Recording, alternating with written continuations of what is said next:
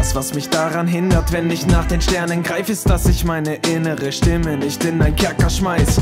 Immer gibt's was zu meckern, immer ist irgendwas los. Dieses Pass auf dich auf, sonst bist du dadurch irgendwann tot. Freie Sekunden in meinem Kopf sind nur fehl am Platz. Mehr Gedanken als genießen, jeden Tag.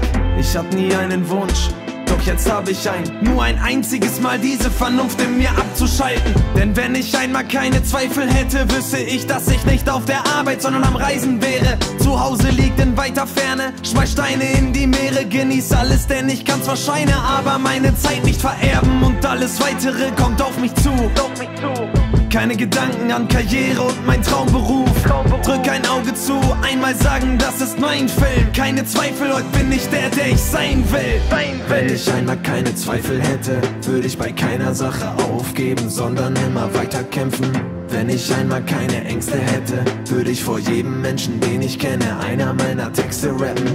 Wenn mir einmal nicht wichtig wäre, was andere denken, würde ich mich selbst nicht unter Masken verstecken. Ich würde aufstehen und sagen, guck mal, ich bin wer. Dabei bin ich es selbst, der mich selbst daran hindert. Ich will nicht in der Zukunft wollen, dass sich Vergangenes ändert. Will nicht wissen, andere riskierten und machten es besser. Ich würde gern wagen, mit der Familie raus irgendwo hinzuziehen. Doch meine Ängste hindern mich zu fliegen. Ich kann mir gern sagen, heute mach ich's, aber mach es nicht, weil ich mit meinen Träumen in meinem Alltag meistens abseits bin. Wenn ich nur einmal an mich selber denke, mach ich meine Träume, war keine Angst und zeige euch mein echtes Lächeln.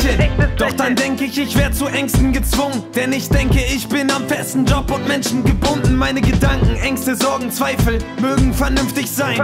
Aber die machen mich bestimmt nicht frei. Irgendwann kommt der Tag, an dem ich einen Krieg gegen meinen Kopf starte. Und vom Strand aus schick ich euch dann eine Postkarte.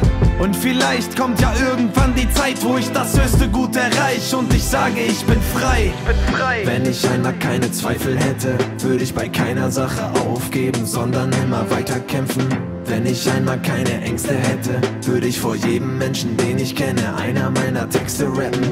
Wenn mir einmal nicht wichtig wäre, was andere denken, würde ich mich selbst nicht unter Masken verstecken. Ich würde aufstehen und sagen, guck mal, ich bin wer. Dabei bin ich es selbst, der mich selbst daran hindert.